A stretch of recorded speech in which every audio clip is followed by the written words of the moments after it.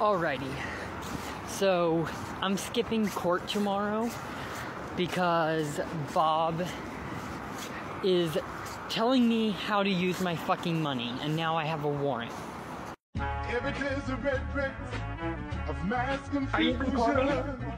Are you- are you recording?